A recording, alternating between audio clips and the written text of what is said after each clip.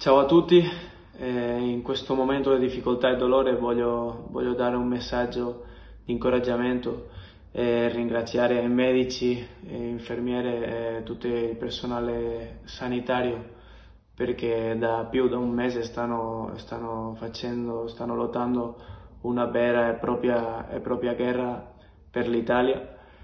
E voglio dire che noi non siamo medici, noi non siamo infermieri ma noi dobbiamo fare la nostra parte, dobbiamo restare a casa, eh, dobbiamo, dobbiamo, rispettare tutte quelle regole che, che vengono imposte e, sol, e, soltanto, così, soltanto così possiamo aiutare a, a tutti quelli che stanno lottando contro questo virus, possiamo aiutare a quelli che amiamo, che non, non ci vogliamo eh, a loro che succeda nulla e, e dopo soltanto così possiamo aiutare ai, ai, nostri paesi perché